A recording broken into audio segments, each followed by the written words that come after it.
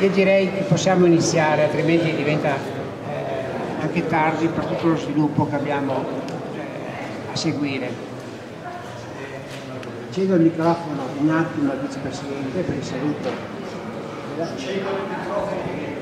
Signori, buongiorno.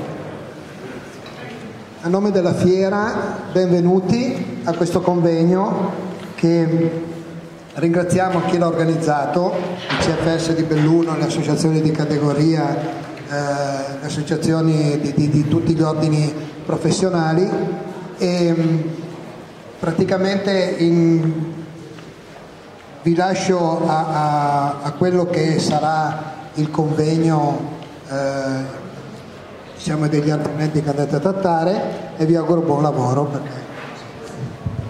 Bene, grazie Vicepresidente. Ringrazio il personale della scuola edile per l'aiuto che mi è stato dato ad organizzare questo evento.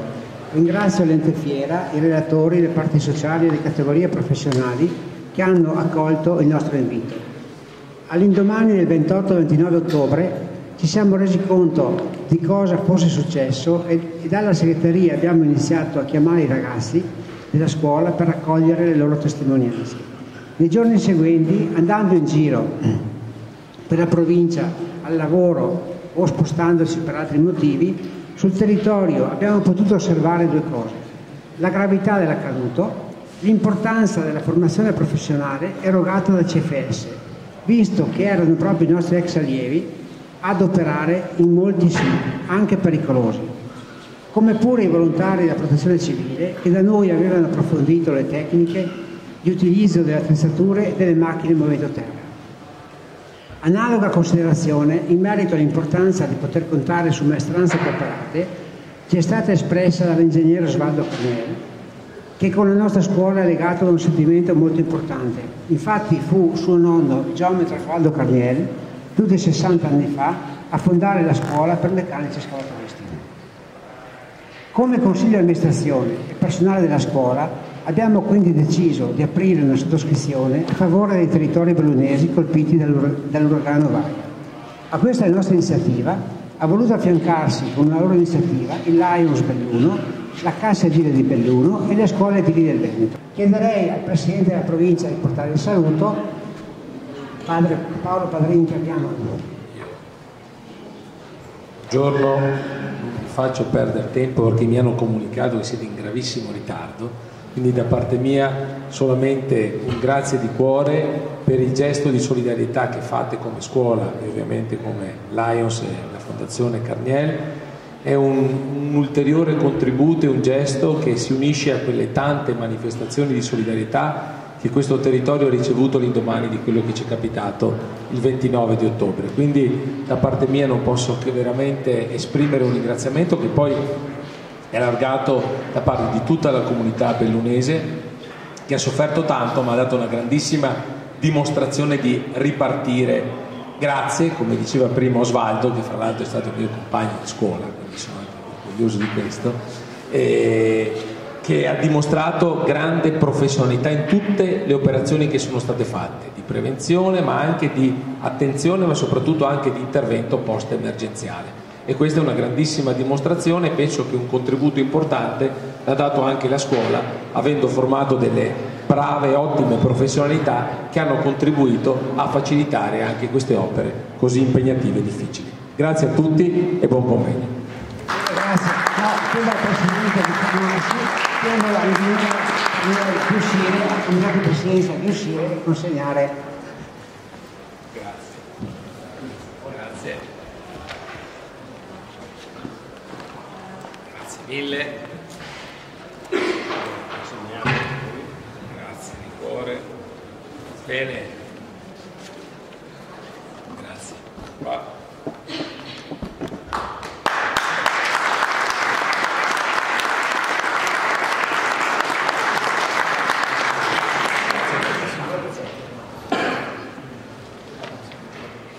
Bene, grazie.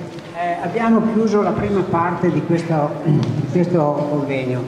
Allora, buon pomeriggio a tutti e ovviamente mi corre l'obbligo, ma lo faccio con grande piacere, di ringraziare la presidenza della scuola edile, il presidente e il vicepresidente, eh, il mio collega Danilo Zaiaco, direttore della scuola dire, per avermi invitato a questo seminario qui, eh, qui da voi per provare a eh, portare un po' un'esperienza che stiamo facendo, eh, stiamo facendo in giro per l'Italia e che abbiamo fatto anche qui nella scuola di Belluno, per cercare di capire come gli strumenti che noi in qualche modo quotidianamente utilizziamo, che possiamo sintetizzare in questo benedetto telefonino, ehm, internazionali, per gestire la direzione lavori e la sicurezza. cantieri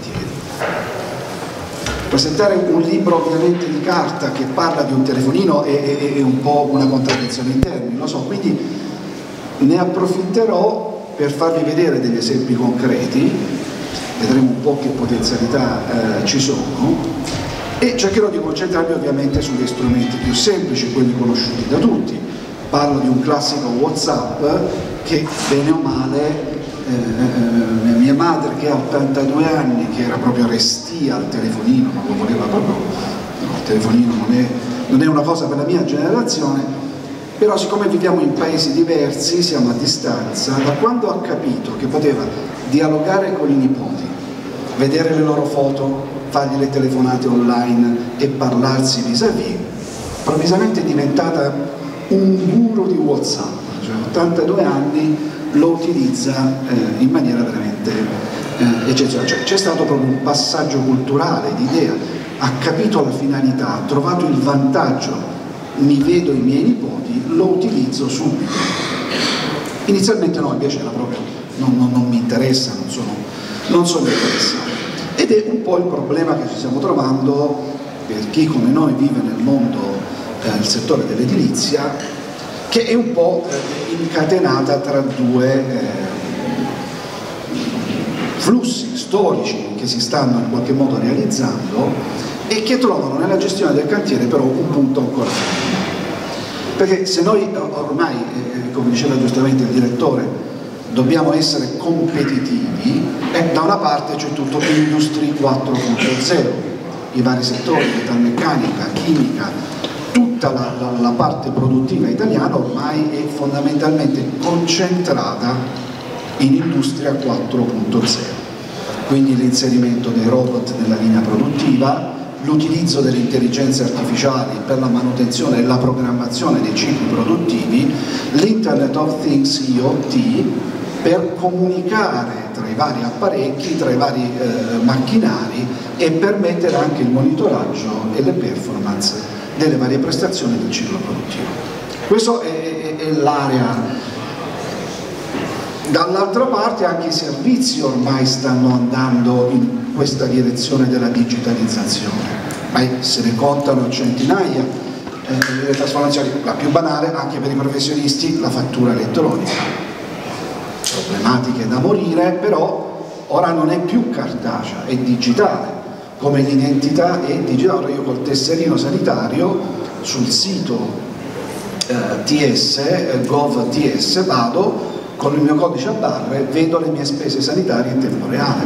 Il medico che ora fa eh, eh le ricette per gli assistiti in digitale. Quindi anche il, e qui possiamo poi parlare, vorrei parlarvi la borsa, gli investitori che ormai sono gli algoritmi che in tempo reale, in microsecondi, fanno transazioni di milioni di euro, di miliardi di dollari su scala planetaria. Qui stiamo andando veramente su un cambiamento grosso. Quello che invece sembra ancora molto restio, no? ancora molto diffidente, non ne capisce termini, margini, a farsi un po' contaminare dalla digitalizzazione è sostanzialmente il settore edile. Anzi, per la verità, no, no, non è esattamente così.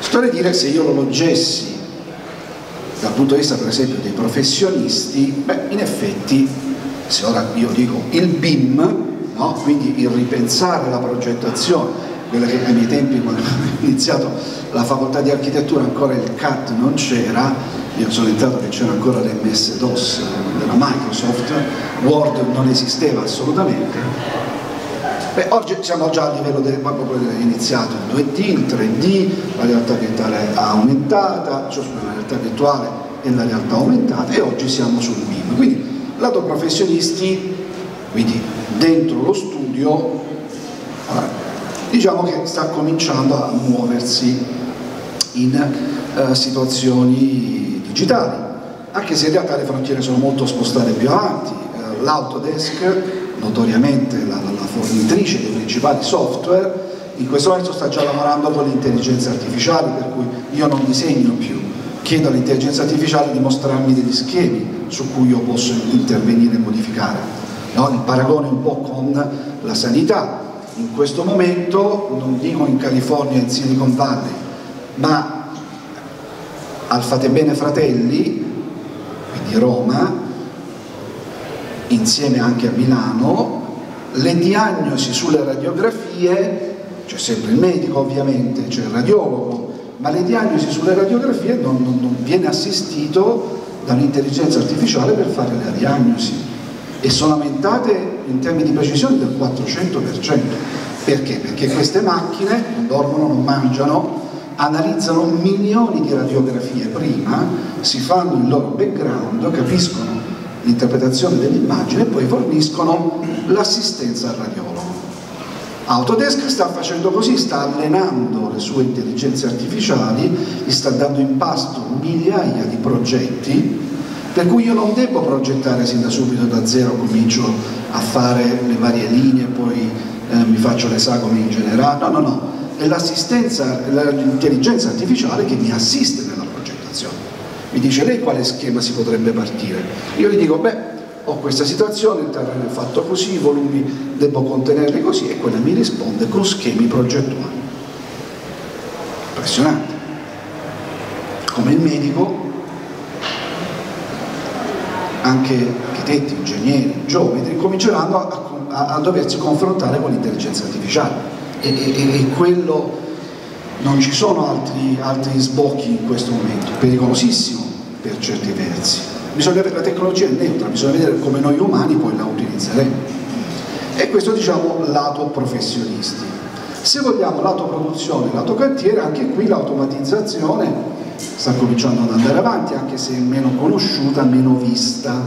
No, perché se io parlo di BIM, beh, credo che ormai gli ordini professionali sono ovviamente tutti impegnati a fare corsi, si faceva al tempo del CAD, Computer Aided Design, il computer che aiuta la progettazione, ora siamo tutti concentrati sul discorso del BIM. Sul livello del ciclo produttivo i meccanismi sono ancora in Italia meno conosciuti, un po' di più Francia, un po' di più Germania, ma l'industrializzazione del cantiere è molto più avanti, non dimentichiamo che la prefabbricazione e gli stilemi della prefabbricazione nascono in Francia e gran parte di quelle che oggi noi chiamiamo le banlieue note per tutti i problemi dell'integrazione eh, razziale e, e, e, che oggi si chiamano anche in parte gireggiali, beh lì sono tutte prefabbricate, quindi mentre noi abbiamo una cultura del centro storico, del recupero, no, della differenziazione, eh, da, da, da, dalla parte greca a quella romana, medievale, rinascimentale e, e, e su salendo in Francia la, la, la, la parte invece eh, soprattutto delle grandi periferie è una periferia di dosenza. Allora lì le stampanti 3D e la possibilità di creare direttamente senza persone la prefabbricazione, quindi moduli abitativi fatti in 15 giorni da 120 metri quadri l'uno con le stampanti 3D, cemento armato, resina e plastica sono ormai una realtà di fatto.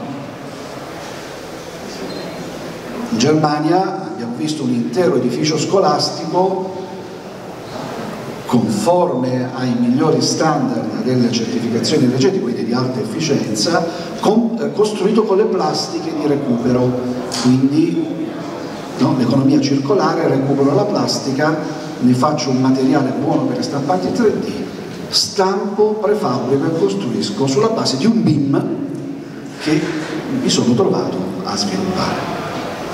Abbiamo tantissime anche attività di robot, eh, per esempio per la stesura degli asfalti, per la stesura delle pavimentazioni.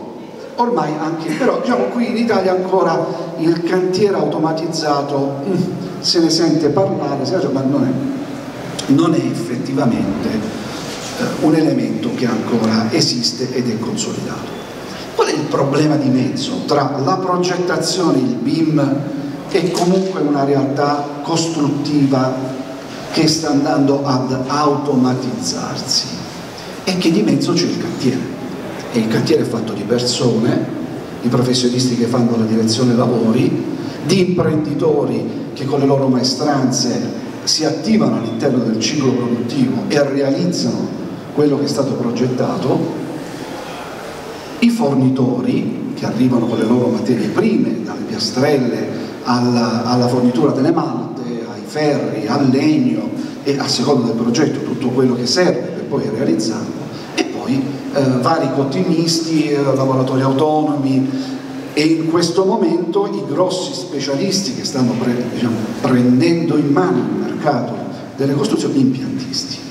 Ovviamente gli impiantisti in questo momento hanno una dominanza tecnica importantissima perché si chiami impianto d'allarme, si chiami risparmio energetico, si chiami domotica, quello che volete, ma fondamentalmente l'impiantistica comincia ad avere il predominio sulla parte strutturale. Ormai se avete visto i rapporti ultimi che sono stati fatti da ANCIA, l'Associazione Nazionale dei Costruttori, insieme con il CRESME, l'organismo di ricerca che tra le varie cose analizzando il settore, ormai la parte impiantistica ha cominciato a diventare dominante in termini di valore aggiunto, questo è importante, non in termini di volumi ma di valore aggiunto rispetto all'edilizia tradizionale.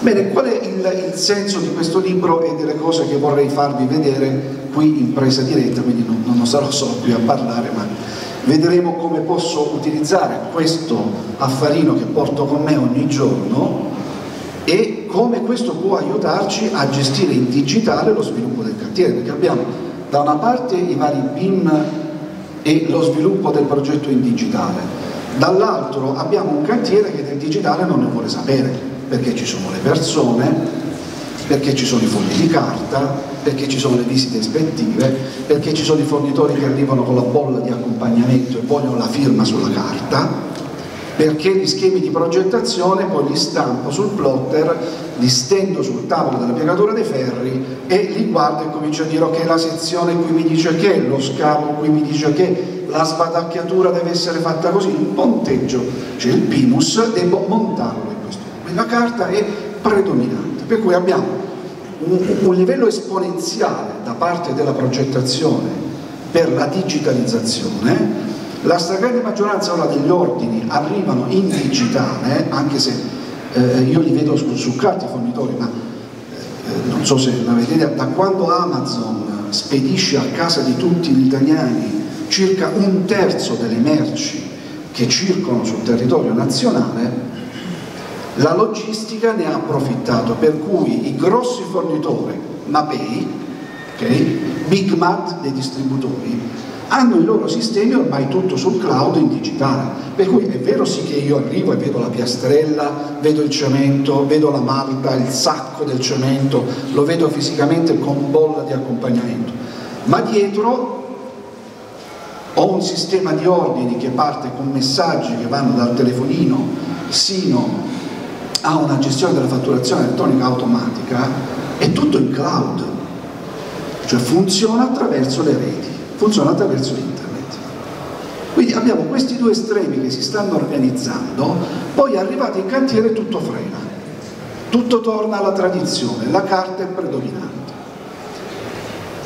La domanda potrebbe essere, e vabbè, come facciamo a digitalizzare un cantiere quando i due estremi non si toccano? Come facciamo a digitalizzare un cantiere quando nell'esperienza formativa abbiamo fatto una scuola edile dove abbiamo istruito, se mi posso permettere, ma aiutato, istruito forse no, ma aiutato a capire la logica del telefonino ai capimastro di un'impresa edile che aveva bisogno di migliorare i tempi di esecuzione in cantiere, di controllare meglio il cantiere, ma i capimastro erano albanesi, di origine quindi già il rapporto con la lingua italiana c'era, ma non era di altissimo livello. Come faccio a far dialogare una maestranza che non è in grado ancora nemmeno forse di parlare, o perché usa il dialetto, perché non è del nostro paese? Come faccio a farlo dialogare digitalmente, col tecnico anche che fa, perché il mio libro è dedicato alla direzione lavori, ma lo faccio anche per la sicurezza cantieri, Come faccio io a rendere digitale un percorso di pericolo grave e imminente? Comunicazione al committente, sospensione dei lavori e tempistica per recuperare il rischio evidentemente prodotto. Che vuol dire? Come faccio con un telefonino a fare tutte queste operazioni? Allora è chiaro che abbiamo cominciato a ragionare con le imprese, quindi era un corso dedicato ai ehm, imprenditori, tecnici degli imprenditori, quindi direttore tecnico di cantiere, e capimastri albanesi, nel caso della nostra sperimentazione, quindi nemmeno italiani. Come questo strumento può riuscire a permettere l'unione di questo eh, trittico che si scontra nel cantiere con una digitalizzazione del progetto, una digitalizzazione della logistica, ma non il cantiere. Allora vorrei farvi vedere qualche esempio di come l'abbiamo fatto, ripeto, utilizzo Whatsapp perché è quello più diffuso, è quello che mi ha permesso in qualche modo di, come ho fatto con mia madre, di vincere questa, questa eh, ritrosia eh, nei confronti della tecnologia, ma mh, sia nel libro, ma sia nei seminari che tengo, negli ordini professionali, nelle scuole edili, lo faccio vedere anche quanto ci sia di non conosciuto, per esempio, che Facebook. Facebook Business non è conosciuto, Facebook Group Business non è conosciuto, ma anche Whatsapp c'è Whatsapp Business che è diverso da Whatsapp normale, fa altre cose, ma esiste anche per esempio Workplace di Facebook che non è conosciuto da noi, ma se parlassi della, eh, della, Google Suite e della possibilità di orientare in tempo reale la gestione dinamica del cantiere, anche questa più o meno tutti noi utilizziamo, qualcuno Gmail, qualcuno utilizza Calendar, eh, non tutti hanno anche la dimestichezza con gli altri programmi che Google gratuitamente mette a disposizione. Ribadisco, questa è una cosa anche importante, Facebook, Whatsapp, a voi piace Messenger, Messenger Telegram, Snapchat, sono tutti gratuiti, cioè l'impresa, il professionista non deve spendere un euro per questo. Google Suite è gratis per gli utenti di Gmail a pagamento se volete fare una versione importante, superiore, che riorganizza l'intero sistema, ma fondamentalmente sono gratuiti. Quindi è chiaro che c'è a disposizione una tecnologia utilizzata da tutti. Non vado adesso ai vari, ai vari livelli perché sennò poi dovremmo fare le otto ore di formazione che ho fatto. Ma vorrei farvi vedere partendo anche dalle cose mie molto semplici come possiamo nella logica di cantiere utilizzare Whatsapp anche questi capimastri albanesi avevano Whatsapp perché chiamavano le loro famiglie comunicavano con le loro famiglie.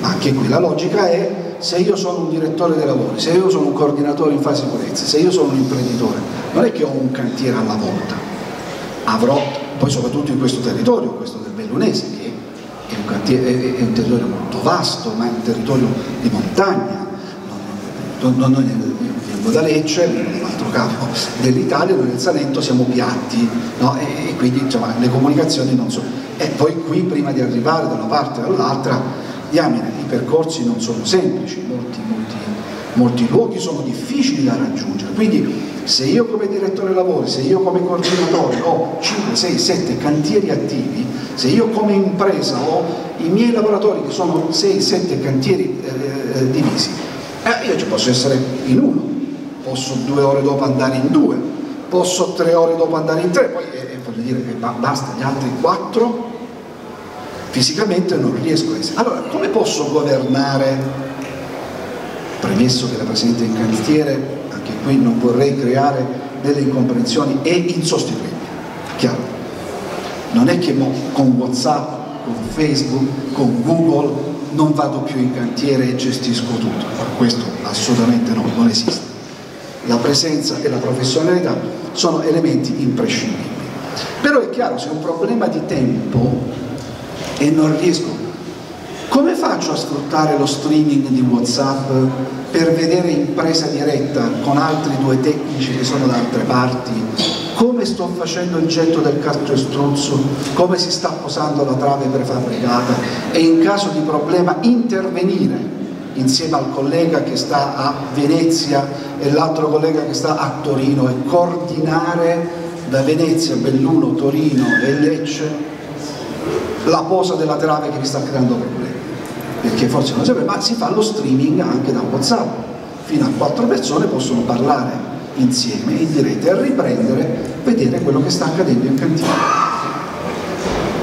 Funzione pochissimo utilizzata e, ma in generale qual è un altro problema? Le, le, I contenziosi di cantiere quante volte mi sarà capitato di fare un'opera, di essere direttori lavori, coordinatori, imprenditori, e si fa un'opera, poi il problema è dice, eh, ma è uscito il difetto, non è stato fatto lo scavo correttamente, eh, il materiale che avevo chiesto non è quello che mi è stato portato. Sì, ho fatto il verbale di cantiere, ho fatto il giornale dei lavori, poi non vi dico negli appalti pubblici, il RUP e quindi il direttore dei lavori, adesso dopo che è uscito il decreto ministeriale nel 2018 che indica le linee guida per il direttore dei lavori ha una contabilità ben precisa da, da seguire. Beh, io l'ho fatto tutte queste. Eh, ma quando poi il lavoro è inizio per cui il pilastro è stato gettato, posato, disarmato, quello che volete, poi a dimostrare che il numero di ferri dentro non era del FI che a me serviva, perché mi aveva chiesto un FI 12 e mi hanno messo un FI 8, eh, ma poi diventa un problema perché ormai la struttura è consolidata. Certo, se avessi avuto il filmato le fotografie di quel momento, eh, certo sarebbe più facile dimostrare in tribunale o nel contenzioso che ho nelle, nelle riserve che io faccio alla pubblica amministrazione, eh, dimostrare quello che è successo. Adesso, cioè, ma perché hanno valore queste cose? Certo che hanno valore si chiama tecnicamente la digital forensic. Ora i tribunali sono, hanno le sezioni dedicate alla digital forensic perché quanti casi eh, conoscete che, per cui dalla, dalla, dalle organizzazioni criminali che sono state sorprese e videoregistrate fino ai divorzi che vengono su per messaggistica, ormai i tribunali e giurisprudenza e legge consolidata accettano le prove digitali. Si chiama tecnicamente digital forensic, anzi poiché la gran parte delle prove ora viene dai telefonini, la sezione nuova che è stata creata si chiama Mobile Forensic, cioè eh, i vari RIS, i vari tribunali hanno proprio tutta una sezione dedicata a come io estraggo le foto o i filmati dal telefonino perché io in questo momento sono qui sono collegato alla rete wifi e il fornitore di wifi è obbligato per legge a fornire la mia posizione in caso il tribunale chieda ma scusate questo simpaticone del Verdesca dov'era sabato 23 alle 2? E io sono tracciato in questo momento per venire qui non conoscendo la posizione ho utilizzato Google Maps no? il navigatore quanti, quanti non lo utilizzano Google Maps niente io sono tracciato quindi Google sa esattamente a che ora sono partito, che ho detto avvia, e a che ora sono arrivato.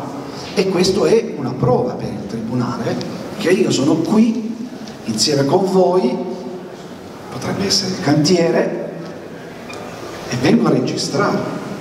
Passare sotto un wifi, anche se non sto facendo il wifi, il fatto che io ammetto il tracciamento dei dati, cioè permetto lo scambio dei dati, quindi oltre alla telefonia, scambio dati, perché sembra un unico, ma lui fa due funzioni. La telefonia, importante, soprattutto scambio dati. Quando voi eh, eh, vedete adesso le offerte delle grandi compagnie telecom, eh, scusate, Team, piuttosto che Vodafone, piuttosto che Iliad, adesso, cosa mettono i minuti o i giga come importanti? Ora mettono i giga come importanti, perché? Perché vi scaricate un, su da YouTube un filmato, perché whatsappate, perché cioè, la telefonia ormai è... Informiamo signori visitatori e espositori che sta per iniziare presso il centro esatto. congressi un convegno sul tema lavori boschivi in modo sicuro dopo l'uragano Valle a cura del centro consorzi di Belluno. Bene, eh, noi ci risiamo anche di qua.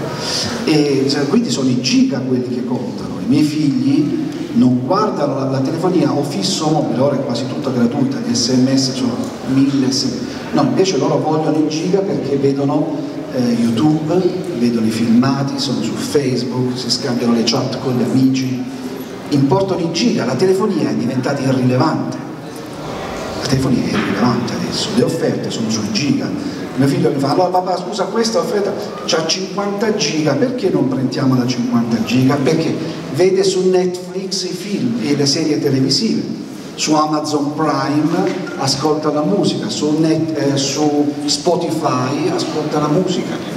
E quelli sono giga, non c'è niente con la telefonia. Allora, tutti quelli sono tracciamenti, il sistema ci, ci, ci traccia su tutto. No? Allora, la giurisprudenza ormai si è consolidata in questi temi.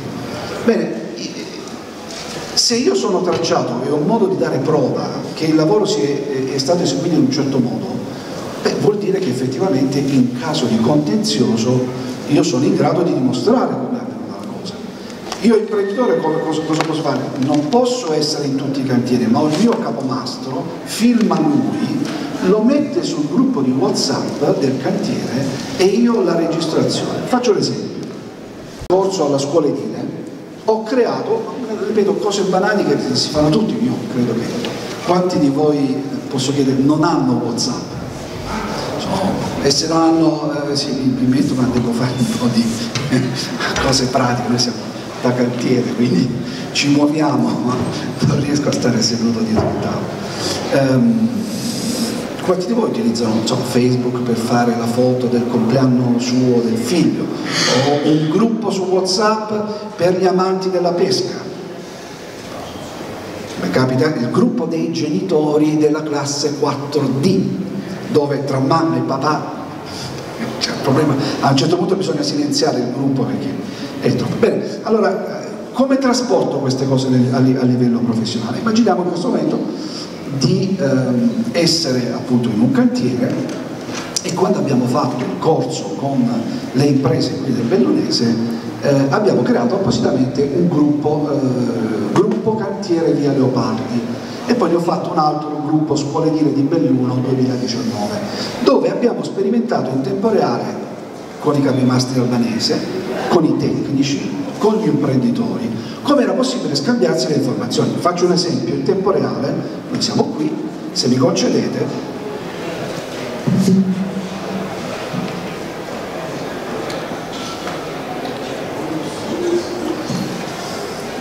entro nel gruppo Cantiere Via Leopardi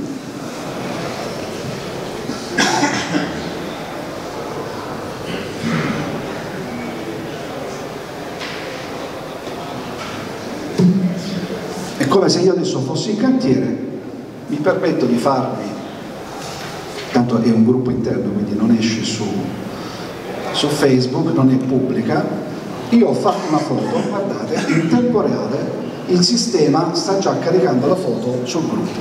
Cioè come se io stessi dicendo sono qui in cantiere, abbiamo una... ecco ci siete, vedete?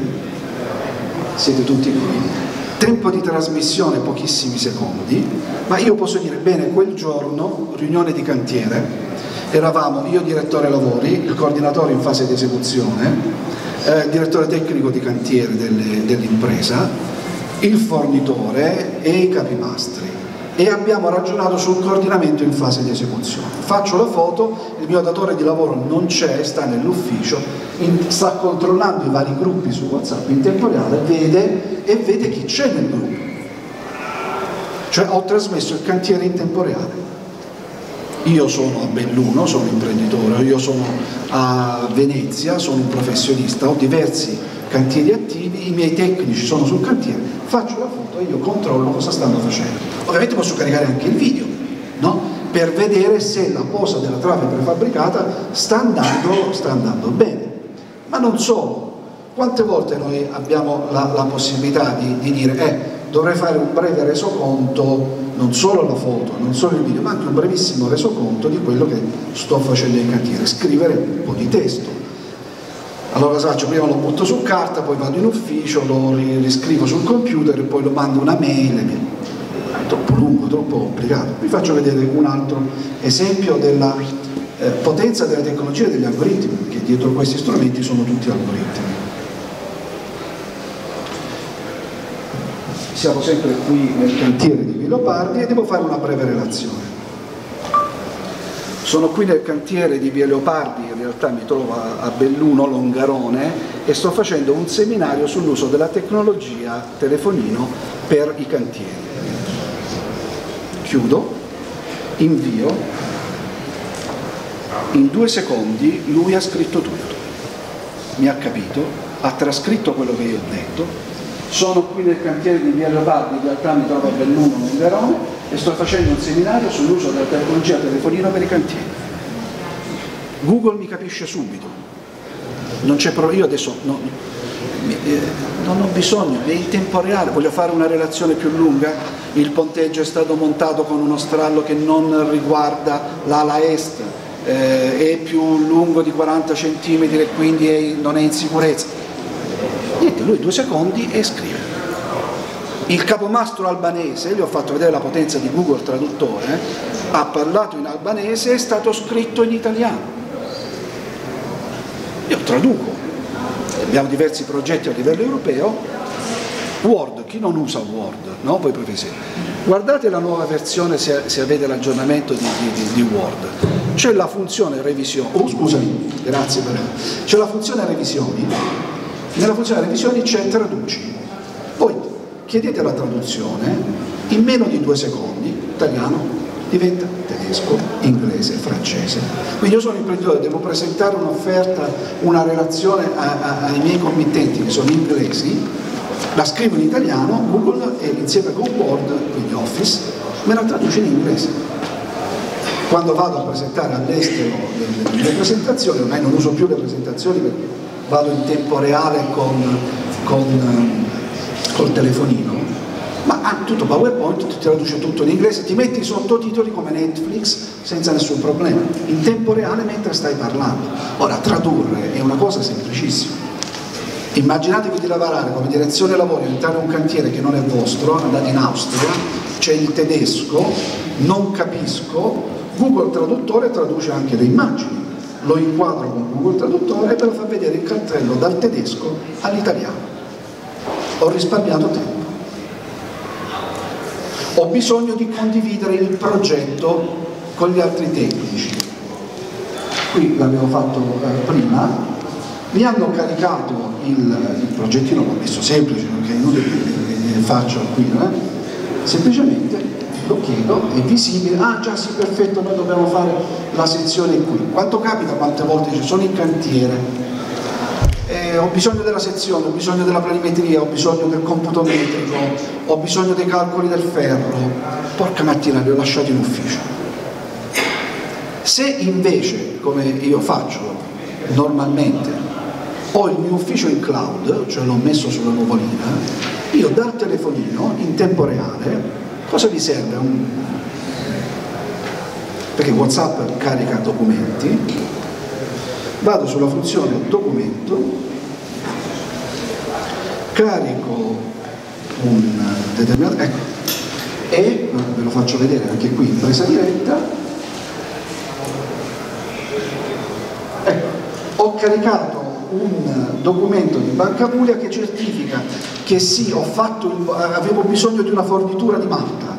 E me, me, me, la, me la porti, eh, ho capito, ma me la paghi? Ok, ti faccio ora c'è le carte di credito sui telefonini, io in banca non lo porto più con me la carta di credito, ce l'ho tutto sul telefonino, pago, faccio il bonifico, ricevo la contabile online, invio sul gruppo dove c'è anche il mio fornitore la ricevuta della contabile di Banca Puglia dove si attesta che ho fatto il bonifico. Perfetto, sta partendo la fornitura di Malta. Ecco come si risparmia tempo in cantiere e si ottiene la generazione se utilizzate Google Pay, eh, quello anche di, di, di, Apple, di Amazon, fate gli ordini in diretta dal cantiere, condividete sul gruppo la contabile, parte l'ordine. Eh ma mi arriva con la bolla di accompagnamento, è cartacea, che faccio? Firmo la bolla di accompagnamento, poi dopodiché, io ora, giusto per fare l'esempio,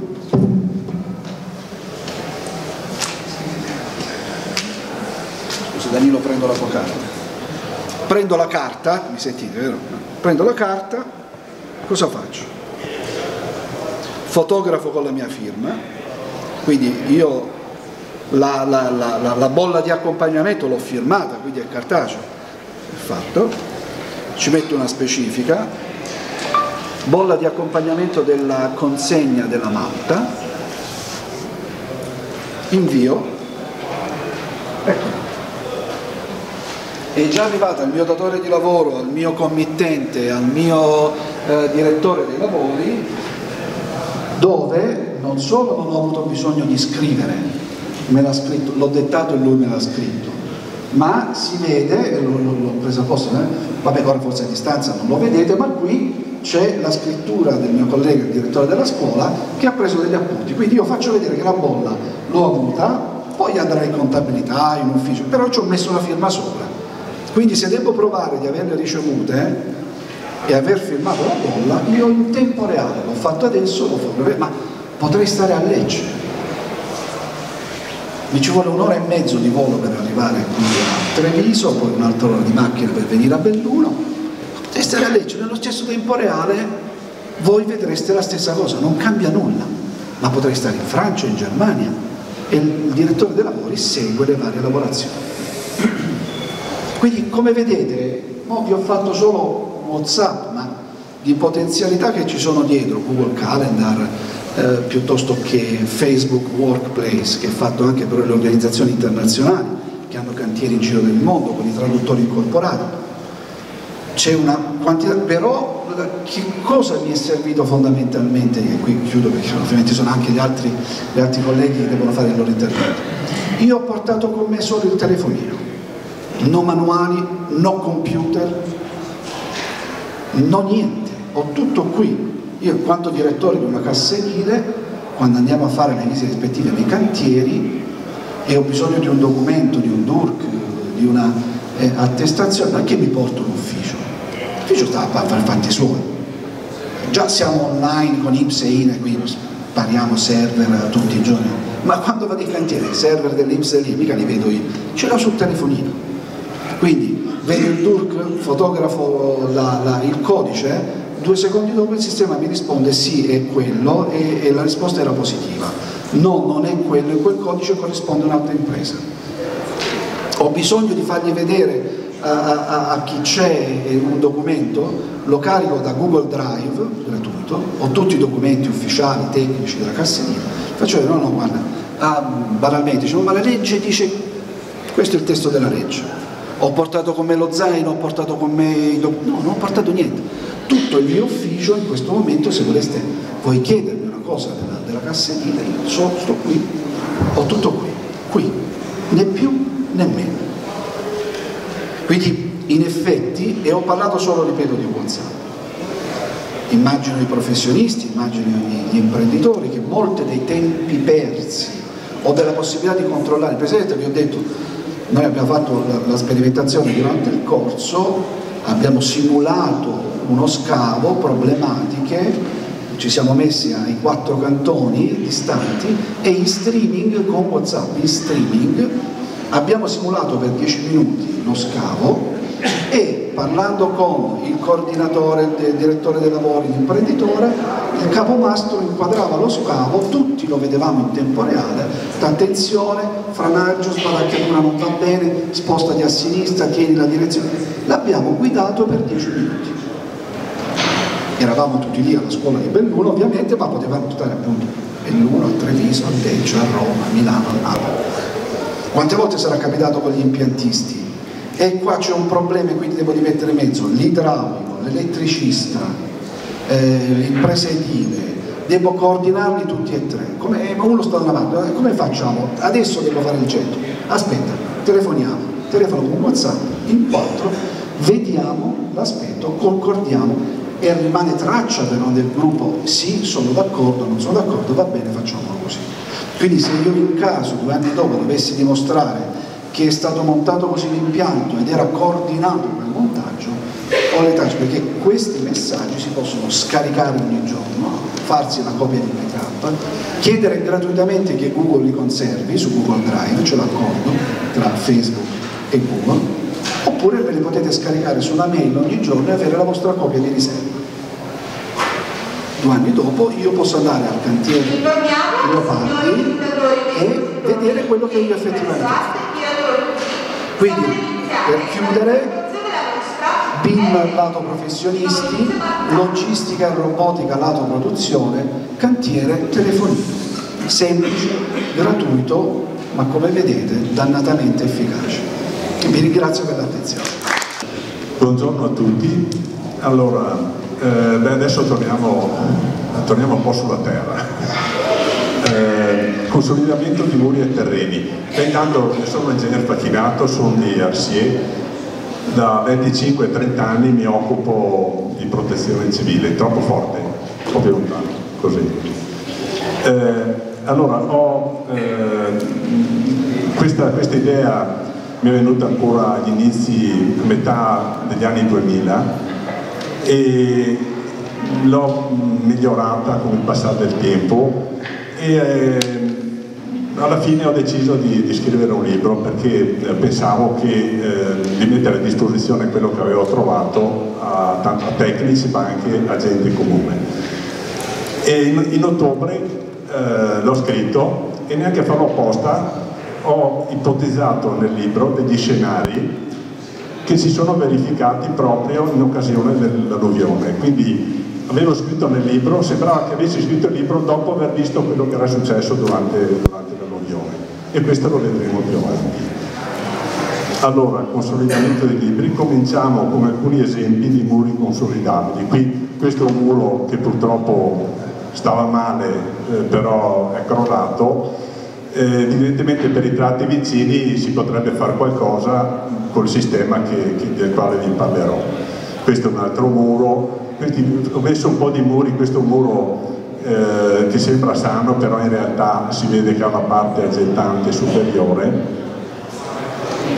Un altro muro eh, con, massi, con massi abbastanza consistenti, non dico ciclopici. Questo è un muro, eh, ho fatto questa foto perché il lampione eh, che proietta l'ombra eh, si vede che è curvo. Quello è un muro, è un muro spacciato, è un muro a San Pietro di Cadore che è stato riparato alcuni anni fa e sembra sia ancora, sia ancora intatto. Eh, qui ho fatto questa foto, è un intervento su un muro abbastanza alto, eh, su un pendio molto ripido che è stato fatto con uso di, di una piattaforma elevatrice. Questo è un altro esempio muro che, che eh, intorno a una scala che, che, aveva delle crepe, non si vedono tanto bene, che però è stato sistemato col sistema. Eh, questo, questo all'ingresso principale. Eh, un, un, attimo, un muro eh, molto spanciato, eh, probabilmente in provincia di Vicenza, questo è un muro in calcestruzzo mm, molto lesionato che meriterebbe di essere eh, trattato con un sistema che, che, proporrò più avanti. Un altro muro molto lesionato e molto degradato. Alcuni esempi di PD consolidabili. Il sistema che propongo non è indicato per fare interventi su grandi frane, sono tutti interventi su eh, eh, difetti del, del terreno di modesta entità che però sono comunque tanti e che varrebbe la pena che, varrebbe la pena che fossero trattati prima che diventino fenomeni importanti. Eh, questa è una scarpata al lato di una strada che probabilmente ha una pendenza eh, non adeguata e, e, quindi si forma, eh, si erode e, e questo è un, un, esempio di un piccolo movimento franoso con la cresta di frana e, e il, appunto il sistema che propongo si, si eh, si presta proprio per trattare queste parti terminali delle, delle frane, de, delle piccole frane, non dei, dei, dei, movimenti franosi molto importanti. Questo è un sentiero che è stato eh, predisposto con uno scavo eh, con, con, con una tendenza.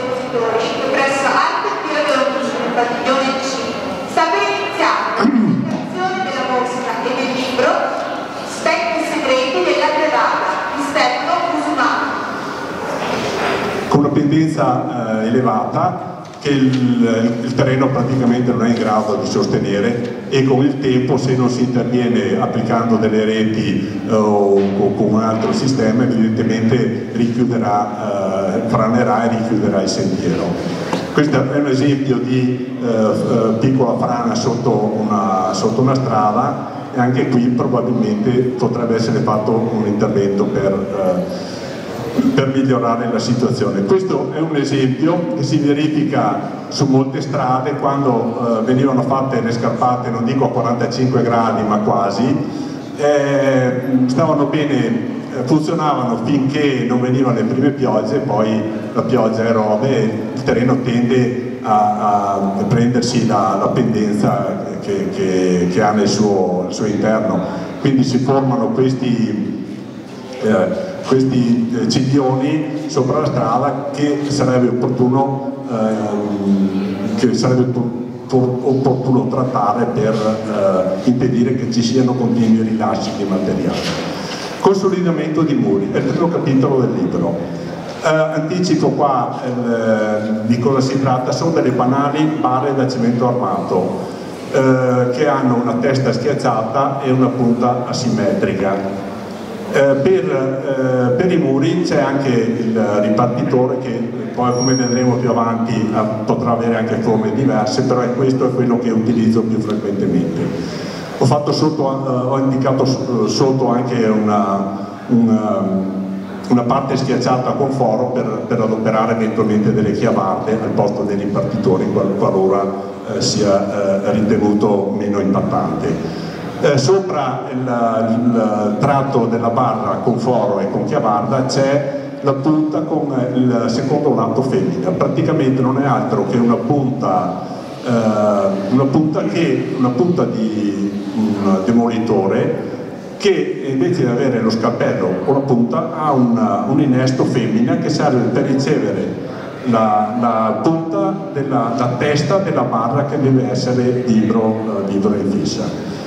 Eh, quando non c'è la punta, eh, perché richiede una lavorazione particolare eh, che è piuttosto impegnativa, mm, se non c'è la punta speciale si può comunque eh, vivorifiggere le barre adoperando una punta mozza e un cilindro con due tratti, eh, con due incavi sui due lati. Tenendolo con un guanto in cuoio è possibile comunque fare le operazioni non deve mai mancare la mazzetta perché serve per le operazioni iniziali di puntatura della barra eh, e per quelle finali di, eh, messa, eh, di ehm, messa, a punto, di ehm, stabilizzazione alla fine.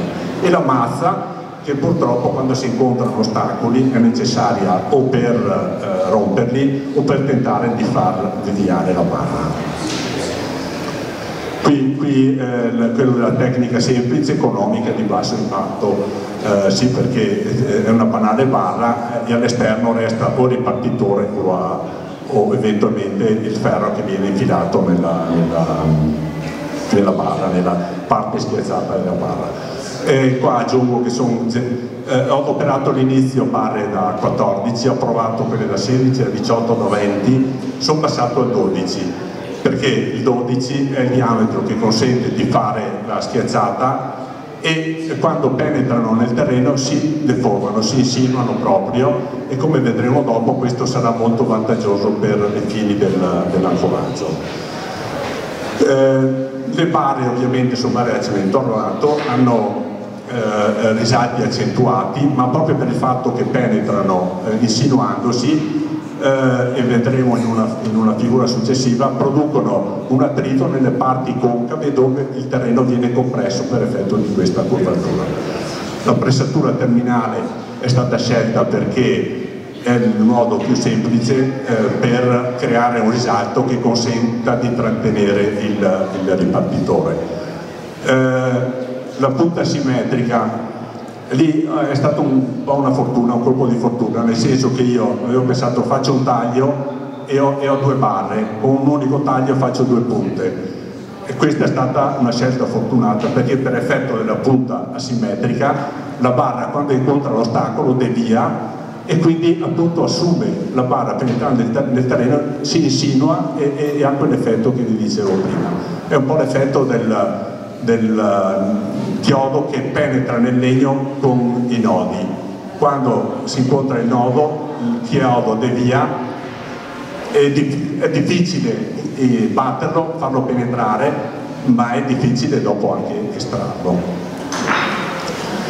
Eh, le, qui come ho detto modalità di posa, generalmente quando c'è un muro, per i muri eh, a blocchi regolari, generalmente va scelta la posizione superiore di una fessura verticale in modo che quando la barra è penetrata il ripartitore possa andare ad agire sulle due pietre laterali e su quella superiore. Non si riesce mai a, a, a far agire il ripartitore su più di tre, piedi, di tre pietre. In questo modo c'è la garanzia di... Eh, perché è ovvio che su... Eh, nel momento in cui riesco a, a fermare quelle pietre, poi per attrito la, la, forza che esercita questa barra che è stata in vibro in fiscia riesce a manifestarsi anche sulle pietre vicine.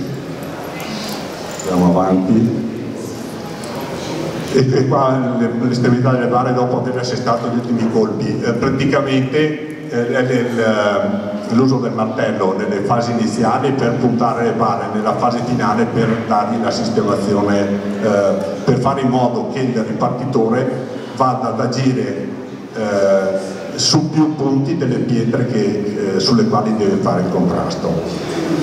Eh, allora, eh, il sistema, qualcuno l'ha anche definito l'uovo di Colombo, eh, ma in effetti praticamente queste barre eh, vengono in fisse abbastanza facilmente, sono in grado di andare a raggiungere le parti del terreno stabili dove prelevano, si può dire, le forze per attrito, quelle che devono servire per contenere o il, le pietre del muro o il terreno come vedremo più avanti. E qua vi, vi, ho, fatto, vi ho, anticipato il discorso di chiodi. Eh, la, la, la somma, eh, eccolo qua, le forze che si oppongono all'estrazione sono quelle che si derivano dall'attrito dovuto alla superficie rugosa, ma anche a quello per effetto della curvatura e che vedremo nella, nella figura successiva la somma delle, delle componenti dovute all'attrito diffuso e a quello distribuito e a quello dovuto alla, alla curvatura dà la resistenza totale della barra. Come eh, valori posso dirvi che generalmente le, le forze di attrito sono eh, sempre di qualche decina di kilonewton, qualche decina di quintali eh, arrivano fino a, a 10 kN per bare di 4, 4 metri e mezzo 5 10 kN sono una tonnellata, 10 quintali, sono forze notevoli per delle banali barre da cemento armato in fisse in pochi, in pochi minuti. E oltretutto che, che, danno, che sono subito disponibili. Perché nel momento in cui ho finito l'infissione e ho speso energia per infiggerle sono in grado di restituirmela eh, al momento, subito, non c'è bisogno di maturazione di malte o di... Qui ho riportato alcuni ripartitori, quello che vedrete nell'angolo in alto a sinistra è quello che adopero più frequentemente, però potrebbero essere fatti anche come quelli, come quelli delle, delle, figure che vi indico. E qui eh, ci sono due sezioni di muro, uno aggettante e uno spanciato, con eh, le barre vibro fisse che sono generalmente rettilinee nella parte iniziale e poi come penetrano nel terreno, oltretutto quello anche più compatto perché al, in prossimità del muro il terreno è eh, sciolto, è nella parte, è nella parte, del cuneo instabile e quindi eh, si lascia penetrare facilmente in modo rettilineo, dopo è più compatto quindi la barra comincia a, eh, a ehm, insinuarsi. Eh, qui ho riportato un, uh, un, prospetto dove ho indicato nella parte centrale le barre, le, sì, i ripartitori più fitti, probabilmente dove c'è o l'aggetto o lo spanciamento e nelle parti, eh, nelle parti, laterali dove il difetto è meno pronunciato e dove eventualmente si vuole comunque conferire un maggior grado di sicurezza al muro valer la pena di mettere comunque di, di, delle, delle, barre e dei ripartitori in grado di conferire appunto un maggior grado di sicurezza al muro. Qui nel, ho fatto una foto ai, agli strumenti che adopero, che faccio adoperare per fare queste vibroinfissioni. Al centro c'è un martello elettrico, un Heiner cinese che costa anche poco, eh, una, eh, una mola a batteria che serve per eh, tagliare le barre perché a volte capita che eh, non si riesca anche battendo con la mazza a far penetrare la barra perché se per caso incontra un sasso proprio di, di testa e il sasso è grosso eh, a un certo punto bisogna rinunciare e, e, e, e tagliare la barra si può eventualmente, se è comunque penetrata a sufficienza, tagliare, aprire il, con, uno, scalpello, non c'è lo scalpello nella, nella, foto, però con uno scalpello si aprono i due lembi eh, tagliati in senso longitudinale e quella, quelle due ali della barra vanno ad agire sul ripartitore quindi la, la barra è in grado comunque di, di svolgere la, la sua funzione. Nel, nel, a sinistra c'è il, da, da, un anno ho eh, preso un moto, un moto demolitore che è molto più comodo perché è subito disponibile, è un po' come la motosega, uno dà un colpo ed non c'è bisogno del generatore da, da tenere in funzione da, eh, e quindi è molto più, eh, molto più semplice e, e più efficace. Eh, eh, nella parte a destra ci sono dei ripartitori, rondelle e quelle cose che vi ho probabilmente disegnato, che, vi ho, eh, che avevo disegnato in precedenza. Lì ci sono anche eh, quelle barre lunghe messe in diagonale, eh, sono eh, dei tubi riservato di dei quali mi sono riservato di parlare magari non si sa mai in un altro libro, che però eh, ho adoperato in, in, questo libro perché possono consentire di inserire dei drenaggi nel terreno a tergo del muro.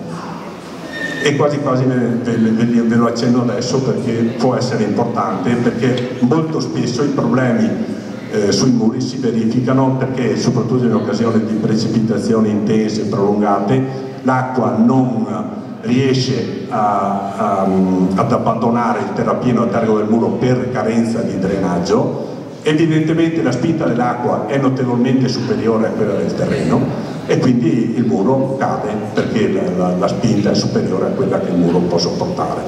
Allora questi tubi eh, coassiali sono praticamente un, un, un, tubo centrale che a volte è anche pieno, che è detto spintore, uno esterno che è eh, detto tubo camicia, vengono infissi insieme sempre con lo stesso sistema dei, eh, del martello demolitore adoperato come eh, massa battente. Eh, una volta che, raggiunto, che è stato infilato per la profondità che eh, mi sono prefisso di, di, eh, di utilizzare per il mio drenaggio, tolgo lo spintore, inserisco il drenaggio e mantenendo il tubo, il tubo drenante in posizione estraggo anche il tubo camicia. In questo modo io ho la possibilità di inserire un tubo in PVC eventualmente con, o, o uh, di quelli standard, ma meglio ancora se, un, se un tubo con dei fori trasversali fatti con una molla disco che è in, è in grado di accompagnarmi all'esterno le barre, eh, le acque che, che ci sono all'interno del terrapieno. E allora ho approfittato anche di parlare di questo che, che non troverò più avanti che perché, e che ho ritenuto importante perché eh, allora qui, eh, qui, riporto, ho fatto due sezioni, eh, due sezioni del, del, terreno, uno per, per un terreno ehm, come si può dire privo di coesione, praticamente potrebbe essere un ghiaione e un altro con, eh, per un terreno con coesione. Un terreno dotato di coesione è un terreno che ha anche dell'argilla, dell'imo, che praticamente eh, mentre il terreno privo di coesione quando si scava assume proprio l'angolo, il suo angolo di attrito, possa essere 30, 35, eh, 40 gradi, quello dotato di coesione invece è in grado di assumere eh, pendenze, pendenze superiori.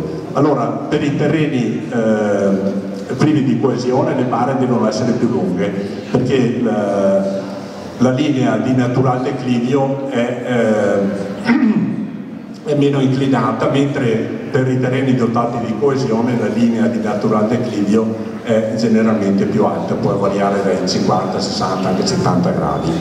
Allora, barre più lunghe per i terreni privi di coesione, barre più corte per i terreni eh, dotati di coesione. Questo è un dispositivo che serve per, eh, può servire per estrarre barre inefficaci ma anche per misurare gli sforzi, di, eh, eh, gli sforzi che le barre sono in grado di generare. Eh, praticamente e anche qua eh, si riescono a misurare in questo modo, eh, sfruttando il principio della leva, misurare eh, sforzi con un dinamometro a 50 kg del, del, costo di, so, 50 euro, forse anche meno, di misurare forze fino a 500 kg, rapporto 10 cm braccio della resistenza, 100 cm braccio della potenza, tiro sul dinamometro, tiro 50 kg, misuro la forza di 50 kg. Questo può essere utile quando eh, ho bisogno, oltre che di stabilizzare il muro, anche di fornire la giustificazione all'ente o all'ente, al comune, all'amministrazione provinciale. Alla... Andiamo avanti. Questi, queste sono le, le, le, fasi di, di, eh, di fissione delle barre, vi ho fatto vedere la, la, faccio vedere la, la, fessura verticale, il punto in cui viene in fissa, i primi colpi battuti col martello, poi si prosegue col debolitore eh, fino quasi in fondo, non proprio, gli, ultimi colpi non devono essere battuti col, col demolitore perché si rischia di rompere le pietre. E, e, poi gli ultimi colpi vanno assestati col martello per posizionare il ripartitore. Barre a filettatura continua. Eh, ho scoperto, scoperto da, da, un paio d'anni, eh, ho visto che queste barre possono eh, essere efficaci per, eh, per consolidare muri eh, su pendii molto pendenti e praticamente inaccessibili, non si possono fare ponteggi, dove non si può arrivare con eh, con una piattaforma perché, perché non, c'è la strada sotto, perché, perché, non ci si arriva. Oppure anche quando c'è un muro, eh, un muro eh, per passaggi in cui c'è un muro da una parte all'altra, tra passaggi di tricea. In questo caso le barre possono essere giuntate e, e, e, la particolarità di queste barre è che adoperando un uh, blocchetto per battute eccentriche come quello che, che, è indicato in figura, praticamente non è altro che un parallelepipedo, una filettatura femmina pari a quella della, della barra uh, che, che, viene libero in fissa. E, e qua l'etissione avviene con battute eccentriche che possono essere fatte addirittura con martello o, uh, oppure, col, oppure, col, demolitore come per le altre, per le altre situazioni. Questi sono esempi, per, eh, sempre di due blocchetti di visione, uno per le barre filettate e l'altro per le barre, eh, barre normali, quelle, eh, quelle, per cementi armati.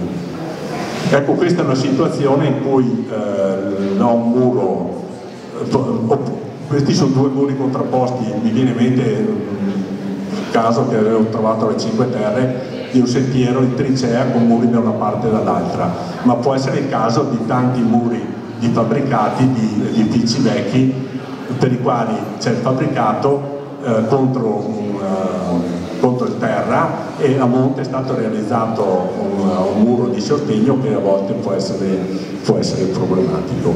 Questo è un altro esempio eh, sempre eh, sono frequenti queste situazioni nelle Cinque Terre, muro dove la pendenza è molto elevata, sentieri con muri a valle e anche muri a monte. Eh, eh questa la, la, la, soluzione, rifare i muri probabilmente diventa complicato, e invece con questo sistema si riuscirebbe a eh, consolidarli. Eh, qui ho riportato un esempio di uno dei primi interventi fatti, eh, questo è il muro della Sagrato della chiesa di Paceni, da notare le barre disposte ecco, in conce come vi avevo suggerito nel disegno. Questi sono eh, una vignetta con dei muri di cemento armato in blocchi che, che sono consolidabili sempre con le barre. Questo è un esempio di muro eh, consolidato a, a Enego in provincia di Vicenza eh, lì, lì aveva anche scritto muro pericolante, è lì da, da 2008 sono dieci anni ancora anche questo. Alcuni vantaggi del sistema di consolidamento. consentire la conservazione di opere di sostegno esistenti con modeste quantità di attrezzature e materiali. Quindi attrezzature oltretutto che sono adoperate per altri usi, perché non c'è un'attrezzatura creata apposta per questo, è un martello demolitore che si adopera per demolire, però con questo attrezzo, con questa punta femmina è in grado anche di svolgere quest'altra funzione. Poter intervenire in emergenza sia in caso di terremoto che in caso di, eh, di eventi meteorici sfavorevoli. Consentire la conservazione di opere del passato anche per rispetto di, di, di, delle persone che con tante fatiche le hanno realizzate. Effettuare interventi di consolidamento senza rischio di danno per le parti vicine del muro, perché il, la barra che penetra, che viene fissa, non crea assolutamente problemi per le parti vicine, sono delle, delle banali vibrazioni che non, che non danno problemi. Eh, a volte c'è anche la possibilità di raddrizzare i muri o ridurre lo spacciamento se si ha a disposizione un bobcat o un escavatore con, una, con, un mezzo che possa esercitare una forza, interponendo tra la penna e il, e il muro che si vuole raddrizzare o del quale si vuole ridurre lo spacciamento dei pezzi di legno duro. Eh, con, con, questo sistema si possono risolvere anche problemi, sto, sto eh, andando troppo per le lunghe, due minuti solo, mamma mia, allora devo correre. Eh, eh, qui eh, se, se, sono due minuti devo correre. Allora questo è un esempio di muro consolidabile con lastre eh, questo è un esempio di muro come era prima, come dopo, si, le lastre possono essere uh, uh, in pietra ma possono essere anche a matrice quando c'è problema di spessori, uh, altre applicazioni le psalto. E questa è un'idea che potrebbe andare bene per praticamente a mio avviso con le barre fisse in verticale e dei piatti sui lati del muro si, si dovrebbe riuscire a consolidare anche pareti di chiese mura storiche che eh, generalmente in senso, in senso parallelo eh, al muro non hanno problemi, ma in senso trasversale possono avere problemi. Secondo me con questo sistema si è consolidamento di terreni.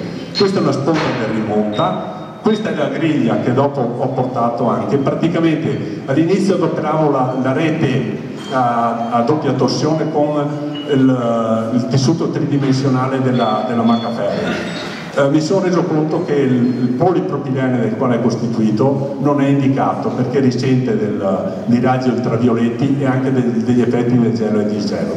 È molto meglio questa rete che ho individuato ultimamente, che è una rete della Wesker, in poliestere. Quindi, eh, e adesso c'è una ditta, la Borghi, che, che eh, prima faceva delle, delle, preaccoppiati con uh, la rete di canapa, adesso fa questo preaccoppiato e secondo me è, è, molto, è molto, efficace. Praticamente cosa succede? Eh, eh, questa è una, una, rete che propongo da, da abbinare, eh, l'altra è un preaccoppiato, questa è una rete che può essere abbinata con una rete a maglia fitta della Wesker, quella 3 mm e mezzo per 3 mm e mezzo.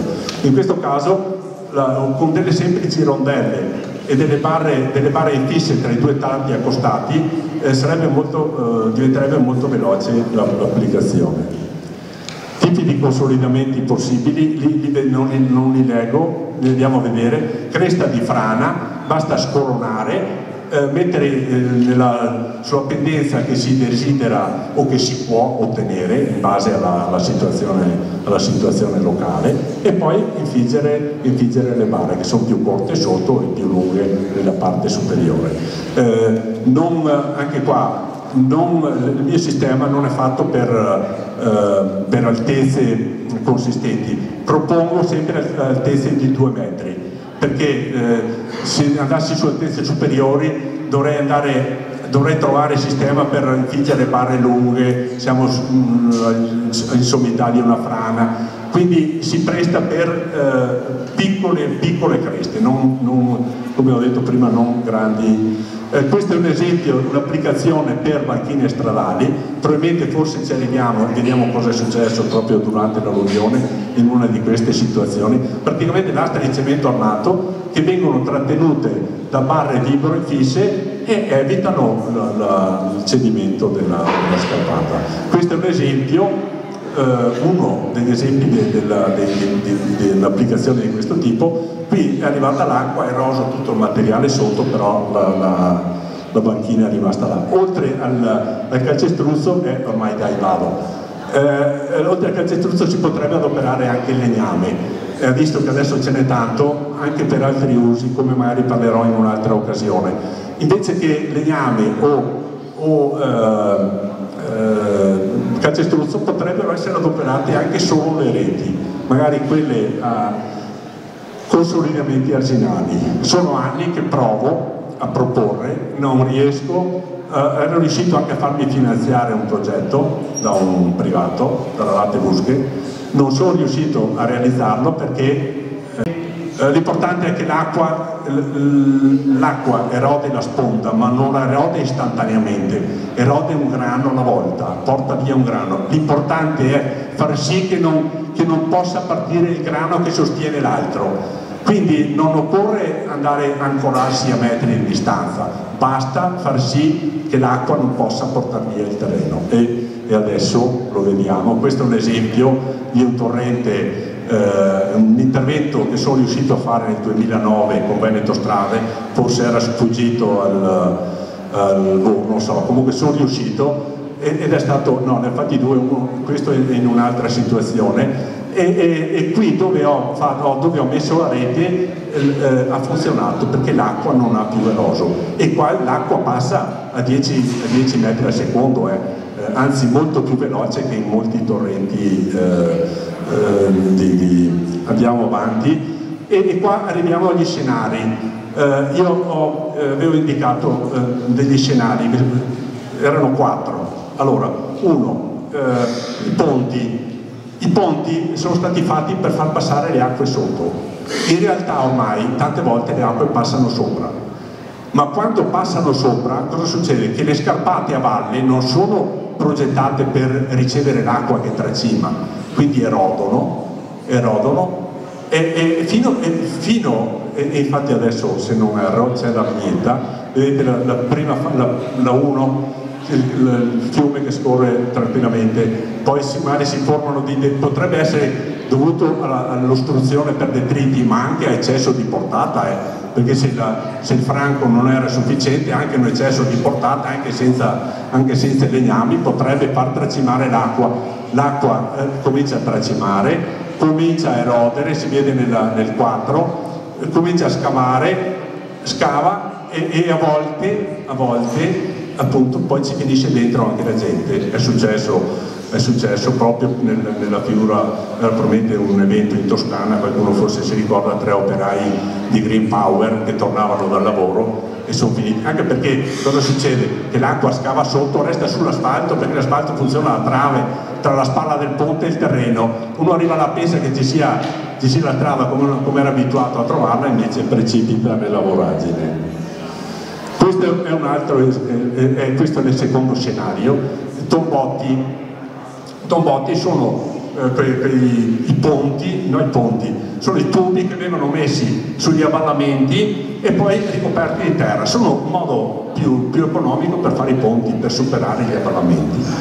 Allora, questi sono fatti però e funzionano bene eh, quando l'acqua non, non tracima e qua c'è il secondo scenario. Eccolo qua, punto 1 punto 2 qua eh, effettivamente siccome non c'è il franco sufficiente basta un po' di legname, un po' di ghiaia che si arresta eh, eh, l'acqua comincia a crescere, sale poi tracima, erode l'erosione diventa più grande e, e, e anche qua questa quella è una foto di un ponte mi sembra ad Orgalì nel 2013-2012 dove ci sono stati ancora dei morti perché nella, nella voragine sono precipitate delle macchine e questo è il secondo scenario. Il terzo è quello degli attraversamenti stradali e qui effettivamente non do neanche la colpa a, perché purtroppo io ho studiato su questo libro dove c'era questa figura eh, che può andare bene per le strade di, di, pianura ma non per le strade nostre e infatti io eh, eh, questo era il, libro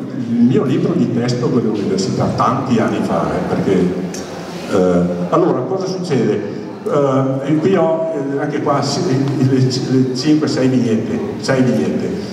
L'acqua che quando c'è solo acqua eh, al suo percorso normale riesce, l'acqua riesce a defluire. Però se l'acqua comincia a trasportare inerti, cosa succede? Che gli inerti come cadono si depositano. Allora si depositano prima all'inizio, poi il deposito aumenta finché ostruisce, ostruisce la condotta. Quando la condotta è ostruita l'acqua non passa più, l'acqua tracima e nel momento in cui tracima comincia a erodere, ero, a, a, volte ci sono anche dei muri, quindi riesce a scavare dietro i muri e a volte anche a, a, per sconnetterli, a creare danni.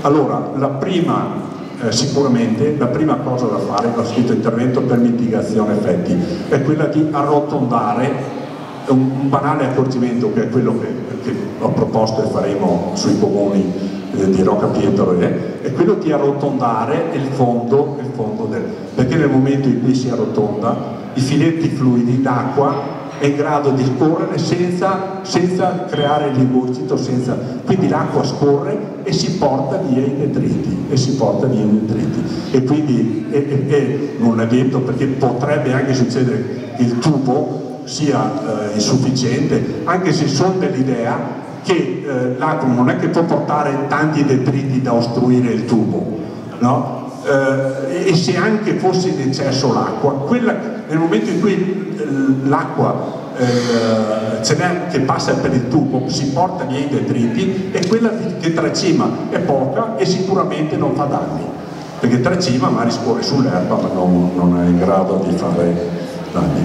Qua, questo è un esempio di un'applicazione, una pista ciclabile, un sentiero eh, dove eh, ho bisogno, perché la pendenza, eh, fino adesso si sono, fatte, si sono fatte opere di altro tipo, eh, queste reti consentono di creare una terra armata senza togliere e, e ricostruire il pendio.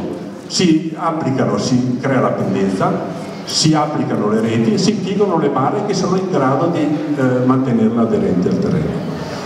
Eh, questo è addirittura un sistema per abbassare l'altezza dei muri.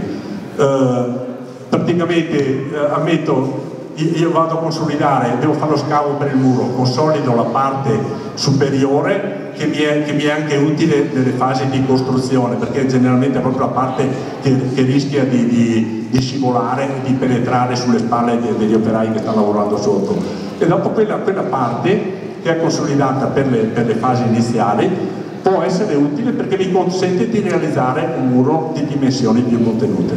Quindi riesco anche a ridurre la dimensione dello scavo, passare il muro, quindi minore impatto, eh, invece che avere muri di, di certe dimensioni, vado, queste sono le, delle briglie a sacco che questo è un corso d'acqua che potrebbe essere eh, eh, applicando delle reti io riesco a consolidare i tratti in curva dove è maggiore l'erosione oppure i, i, le, le, le, frane laterali vado a, a, a, stabilizzare le parti attive quelle che vi dicevo prima le creste delle frane i ciglioni di distacco oppure creare con, con quel sistema là briglie con materiale tipo questo è il sistema praticamente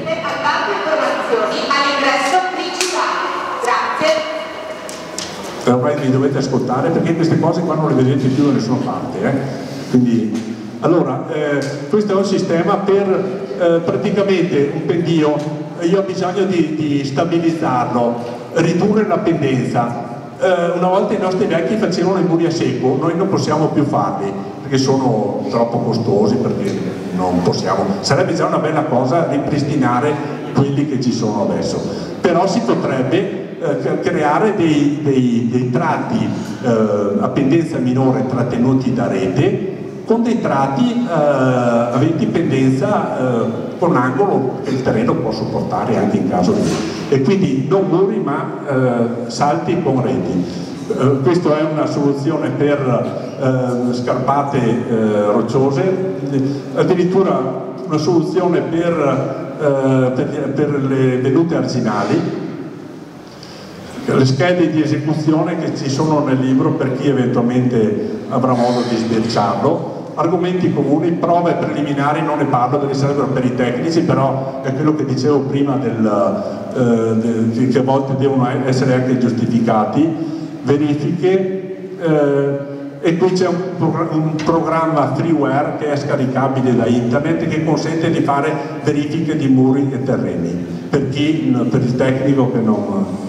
Allora, prezzi, prodotti e materiali, vi do solo qualche indicazione, eh, 7-8 euro al, al, al, per barra, barra più ripartitore, 25 euro metro quadrato per eh, 25 euro quadrato al, me, al metro quadrato per infissioni da terra per due barre a, a metro quadrato circa. 25 a 35 per infissioni da piattaforma destinatari del libro lasciamo perdere e, e qua devo arrivare a, a questo perché l'argomento ormai mi, mi, dovete, mi, dovete, consentire allora eh, non, non do, prima ho parlato di tre scenari, ponti, eh, tombotti e, e, attraversamenti stradali. Eh, un'altra situazione critica che si è verificata è quella delle acque che percorrono le strade. Praticamente quando succedono eventi importanti le, le, le strade a volte possono diventare dei torrenti. Perché, perché l'acqua resta sul, sul piano stradale perché è tanta, perché prende quella dei pendii, perché, perché, e, e, quando però esce le scappate non sono in grado di, eh, di riceverla, si erodono e, e, e, a volte erodono la careggiata e, a volte distruggono anche la strada. Allora questi sono, questi sono esempi di, eh, sono foto che ho tirato, da, tirato, giù da internet, foto fatte appena dopo, appena dopo l'alluvione eh, non so neanche dove sono, alcune foto di attraversamenti stradali a Rosaldo. Io ho avuto modo di fare un, un sopralluogo con altri colleghi della FOI, poco dopo gli eventi, eh, in comune di Cosaldo, che aveva chiesto l'intervento di, di, noi ingegneri per quantificare i danni. Ho avuto modo di percorrere questa strada che va da, da Don, da, da, da Gosaldo, proprio verso il vecchio confine. Non è la strada che si percorre adesso, ma è una strada inferiore. Vedete col, col blu dei corsi d'acqua che la attraversano. Qui ci sono stati, ho fatto alcune foto, ma qui ci saranno stati 20-25 eh, attraversamenti. Di questi almeno 15 avevano avuto danni. Praticamente i danni non si sono verificati solo dove c'è stata solo acqua, dove ci sono stati trasporti solidi che hanno ostruito la, gli attraversamenti stradali o, o, ci sono stati danni come in questo caso, ma in altre situazioni è venuta giù proprio la strada, praticamente l'acqua ha eh, demolito la, la, la, piattaforma stradale. Questo è un esempio di acqua, non è un tombotto, è l'acqua che ha abbandonato la careggiata e che ha eroso la scappata. Eh, qui è un tombotto, è un esempio di, di tombotti fatti male, qui ha fatto un tombotto con gli inviti fatti bene, però una griglia verticale, una sordità, una cosa che non dovrebbe, non dovrebbe mai succedere. Questo, ecco, questo è un esempio di tratto di strada demolita. Questo è un esempio, anche questo da, da, non, uh, da non, seguire. Qui c'è addirittura un avvallamento con una caditoia in fondo. Eh, una, una, caditoia non si ottura solo col, col, materiale solido ma anche con del fogliame. Questo è un tubo addirittura, uh, eh, come si può dire, mi sfugge la parola, probabilmente con poca pendenza che questo è intasato. Qui è l'acqua che è uscita eh, l'acqua in quantità eccessiva che è uscita e ha eroso la scarpata e qua arrivo al... questo è stato un intervento eh, sperimentale, il primo intervento sperimentale fatto per Veneto Strade sulla strada per Sovramonte. Allora, qui si è verificato un fenomeno di uscita di un grosso quantitativo di acqua dalla careggiata. Se non ci fosse stata quest'opera che io avevo realizzato per sostenere la, la careggiata che, che, aveva avuto problemi, probabilmente avremmo avuto un'interruzione stradale anche in comune di Sopramonte, perché questa ha salvato, questa ha salvato la strada involontariamente, però ho, ho avuto un, un, ottimo collaudo, perché è ancora lì da, da, da qualche mese e, e ha, eccolo qua, questo è l'esempio, è l'altra foto presa dall'altro verso. Ecco, eh, e qua arriviamo alla, al miglioramento della funzionalità. Eh, prima ho già accennato al discorso dell'arrotondamento sul fondo, perché purtroppo eh, forse i tecnici hanno fatto come facevo io, io vedevo libri, le figure del libro, eh, non mi fido di quello che riporta il libro, eh, e chissà quanti hanno fatto come, come, come come hanno realizzato le opere che poi hanno creato i problemi che si sono visti. Allora, eh, questo è l'arrotondamento del fondo, ma non solo, anche gli inviti laterali, perché come arrivano i sassi, se vanno a battere contro una superficie eh, verticale di testa, eh, eh si arrestano e, e, non ripartono. Quindi i sassi devono, eh, investire e ripartire. Quindi anche qua devono esserci delle linee di flusso continue che accompagnano i sassi verso valle. Quindi anche se i tubi sono, non sono proprio sufficienti, ripeto, l'importante è che portano via, portino via i detriti. L'ultima, sono arrivato quasi alla fine. Uh, uh, qui quando si può, l'ideale sarebbe quello di uh, mettere anche delle griglie, delle griglie ehm, inclinate, eh, lo vedremo adesso nella sezione, o addirittura proteggere anche i massi che si mettono alla fine dello sbocco perché anche lì potrebbero esserci erosioni. Quindi nella sezione si vede si vede la griglia inclinata perché sulla griglia inclinata a riti paralleli e non contraversi il legname spinto dalla corrente, un po' spinto dalla corrente, un po' per effetto della forza della, della spinta idrostatica, sale e, e mantiene libero la, la, parte inferiore per il passaggio dell'acqua. Eh, queste griglie non devono essere stese fino al fondo, ma sollevate in modo che gli inerti possano passare sotto. Se a volte il tubo non è, è eroso, è, varrebbe la pena di lisciarlo se si riesce a entrare o, o, addirittura di mettere dei fogli di lamiera inox per far acquistare l'acqua alla maggior velocità possibile. Questo è un esempio di griglia installata a Zorzoi di Sovramonte, questa è un'altra installata a Pedavena. A Pedavena sono riuscito a fare 8 di questi imbocchi protetti con, eh, per eventuali chiarimenti e qua arrivo anch'io a, a internet e alla eh, consolidamenti su YouTube ho, ho eh, messo dei filmati, Facchinato Francesco, consolidamenti, su una pagina di Facebook ci sono delle foto di consolidamenti realizzati, ho messo del materiale su LinkedIn, se qualcuno vuole può chiamarmi, uh, può mandarmi un'email, se qualcuno desidera gli lascio anche se non riesce a leggerlo, lo, basta. Grazie dell'attenzione. Eh, buonasera, eh, grazie, grazie per l'invito. Eh, eh, cercherò di, di, essere, di stare dentro i tempi e, e, parlarvi un po' di questo progetto, magari eh, rispetto all'intervento precedente al mio, che è un'accezione molto molto molto tecnica. Eh, cercheremo invece di discutere un po' del senso dell'architettura in funzione proprio dell'utilizzo di alcuni materiali, di come alcuni materiali, in particolare il legno, condizionino molto uh, lo sviluppo del, del progetto d'architettura fin dalle, dalle fasi di, di, concept iniziali. Uh, io faccio parte di uno studio, uh, sono dei tre soci, uno studio di Treviso, che, che sta lavorando proprio all'esecutivo, sta completando le fasi definitive di, di, questo progetto che inizierà già in cantiere, nel senso che stiamo facendo le parti di fondazione, però la parte effettiva della costruzione in legno inizierà tra qualche mese. Il progetto si chiama Crossland Tower eh, ed è un edificio eh, che ha la parte fuori terra interamente in legno, sono 14 piani ed è eh, localizzato a Jesolo. Ora, eh, pensando un po' anche al, all'intervento di oggi, ehm, vorrei un po' inquadrare che cosa è dal nostro punto di vista l'utilizzo del materiale all'interno di, di un, progetto d'architettura. Uh, oggi uh, c'è un cambiamento in corso molto forte che riguarda tutto il processo e la filiera di costruzione dell'architettura. Siamo in una fase eh, che è interessata da nuovi strumenti, una fase chiamata BIM, eh, se conoscete questo, questo, acronimo, e parla ovviamente del, di come sia possibile controllare il processo a monte con nuovi strumenti. Mi riferisco al controllo numerico della produzione, ad esempio, eh, Mm, che avviene nelle costruzioni in Ixlam. Questo significa che in qualche maniera l'architettura comincia a vivere in una fase preventiva che è quella della sua costruzione, c'è una fase di pre-costruzione eh, in un processo di ideazione e controllo che avviene molto prima che inizi il cantiere dell'architettura. Questo è sempre avvenuto storicamente, ma oggi con questi strumenti eh, il livello di controllo e il potenziale su cui eh, possiamo incidere è molto molto più alto. Questo significa però che l'architettura non, non, può rinunciare all'idea di, comunque di essere un, un'azione di tipo umano, nel senso che eh, io ho chiamato questo tipo di azione l'idea di costruire appunto un habitat emotivo prima di tutto.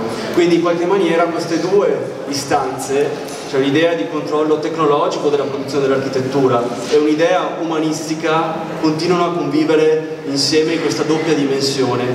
Eh, quindi sostanzialmente siamo dotati di strumenti molto sofisticati, però allo stesso tempo i problemi dell'abitare, i bisogni delle persone sono gli stessi eh, di sempre, sono legati comunque al nostro modo di, di intendere l'emotività che l'architettura può produrre nel rapporto tra spazio e persone. Eh, questa cosa dello strumento, come lo strumento sta cambiando anche la forma e lo spazio. Voi pensate come eh, un tempo eh, la tecnica, la tecnologia condizionasse fortemente la costruzione. Ad esempio pensate al Pantheon, pensate come eh, questa idea di costruzione sia un'idea anche di tipo tecnico ancora prima di essere architettura, ma è chiaro che l'architettura è mossa da questioni emotive. Questo strumento, lo strumento del controllo, deve essere, a mio modo di vedere, piegato all'idea di, di, architettura e non essere il contrario, non essere l'architettura che si piega al, alla progettazione in senso, in senso inverso. Eh, quello che state vedendo in realtà purtroppo c'è un po' un problema credo anche di dimensioni delle immagini per voi però alla vostra, eh, alla vostra sinistra c'è eh, un'immagine di un progetto di Snoenta che è un, un edificio di mm, sostanzialmente un punto di informazioni in un parco eh, norvegese in cui l'interno è un, un, un'alcova in, in legno costruita con un sistema di macchina a controllo numerico che riproduce una forma organica Uh, questo perché queste nuove strumentazioni di tipo tridimensionale sono in grado di riprodurre un modello digitale uh, attraverso un sistema di fresatura fisica che, che, è in grado di riprodurlo in scala 1 a 1.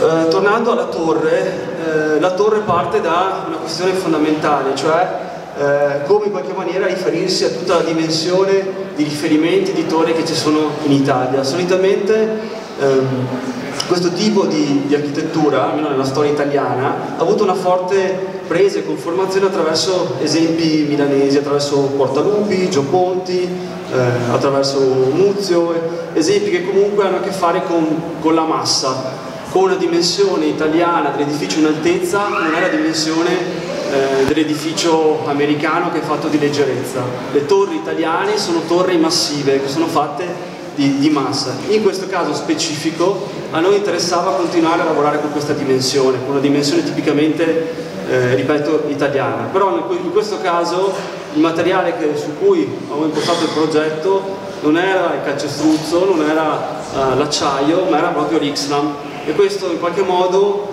uh, cambiava completamente anche il modo di concepire lo spazio, mentre con la pianta libera, con l'utilizzo del calcestruzzo c'è una certa libertà, uh, l'utilizzo del legno inizialmente può creare dei limiti. E poi vi, vi mostrerò meglio perché. La torre pesa uh, 105 tonnellate di legno ed è qualcosa che ha a che fare anche con una dimensione verticale. In questo caso sono, uh, questo progetto sono 45 metri verticali. Uh, questa idea, se volete, è anche un'idea che si ripete uh, in diversi progetti di questo tipo. Quello che vedete qui è Luigi Moretti, con il suo albergo in via, in via dei Corridori Milano che tratta questa idea della verticale in qualche modo. Quindi sostanzialmente il progetto lavora su due temi, uno l'idea di massa e la seconda l'idea di spazio verticale, di grande vuoto verticale. Eh, vi mostro un po' il sito di progetto, è quest'area che, che, vedete che in realtà è arretrata rispetto alla linea eh, di costa eh, e che però ha l'ambizione in qualche modo eh, di stabilire un collegamento visivo con, eh, con, lo spazio, con, lo spazio, del mare. Questo perché, non so se conoscete Jesolo, eh, è stata interessata da un piano urbanistico di Kenzo Tange che ha cercato di eh, trasformare eh, l'urbanistica della città ripensandola a partire da alcuni edifici alti che ridisegnano una nuova geografia eh, dello spazio urbano.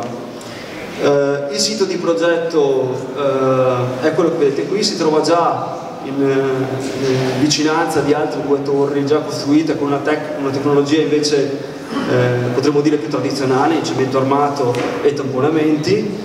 e ehm, ha a che fare, vedete anche nella planimetria che, che abbiamo scelto per organizzare il progetto, con questa idea anche di, eh, di permeabilità dell'edificio. Uh, un altro tema che a noi interessava, che è un tema mutuato dal, dal mondo del riferimento dell'arte, eh, è quello del, della, della, semplicità, come fosse possibile in realtà con un lavoro di poche linee cercare di definire uno spazio. Questa cosa della definizione minima eh, è diventata poi un po' un'ossessione nella costruzione anche del, del concept iniziale del progetto. Quello che vedete eh, è uno dei, dei primi schizzi su, sui quali abbiamo lavorato Uh, nel quale ci sembrava interessante questa idea della costruzione di due grandi ali sostanzialmente che raccogliessero dentro di sé questi volumi lignei e che fossero una sorta di, di protezione entro la quale poter abitare e costruire queste, queste residenze. Questa è una, una, una, delle prime immagini di eh, fotoinserimento del, del progetto, quindi un po' quello che raccontavo prima, cioè l'idea di Uh, due grandi ali verticali che nel nostro caso sono anche elementi uh, di produzione energetica perché queste ali hanno installato ed integrato un sistema fotovoltaico che segue tutto il perimetro uh, verticale e orizzontale di queste linee e quest'idea di vuoto tra, tra questi, tutto questo volume. Questo vuoto centrale che vedete è in realtà la distribuzione dell'edificio, pensata in maniera da eh, istituire un rapporto continuo tra le due direttrici fondamentali che l'edificio ha, cioè quella del mare e quella della laguna retrostante. Un un'altra questione eh, che sta al centro del progetto è il problema della composizione in linea. Eh, il riferimento che vedete in questo caso è Mondrian con un suo lavoro del, del 16 eh, che indaga proprio questo, cioè come lavorare con i setti anziché con i pilastri. Il problema dei setti è un problema di ripetizione in altezza uh, dello stesso sistema, perché l'Ixnam ovviamente ha un grandissimo potenziale dal punto di vista delle sue caratteristiche, però ha un limite che è quello della sua sovrapposizione in altezza, quella dell'impossibilità di liberare la pianta come magari una soluzione a piastra in, in calcestruzzo. Uh, volevo un po' mostrarvi come questo, questo sistema di setti abbia richiesto un lavoro di avvicinamento molto lento prima di, di arrivare al disegno definitivo. Uh, questo lavoro uh, è un lavoro di sovrapposizione e volevo mostrarvi proprio le piante, le 45 versioni delle piante uh, che abbiamo fatto nel percorso di costruzione del progetto che sono tutte fatte di un leggero sfalsamento, spesso di, di spostamenti di pochi centimetri eh, tra una e l'altra. Questo per diversi motivi. Il primo, un motivo molto economico, perché un edificio alto è un edificio che massimizza i costi, quindi da una parte c'è lo sviluppatore che richiede sostanzialmente di calibrare lo spazio al centimetro e l'altro motivo è che questo adattamento che avviene attraverso eh, la sovrapposizione dei setti deve essere un adattamento molto molto eh, schematico che non può prevedere eh, la produzione di più tipologie all'interno della stessa pianta.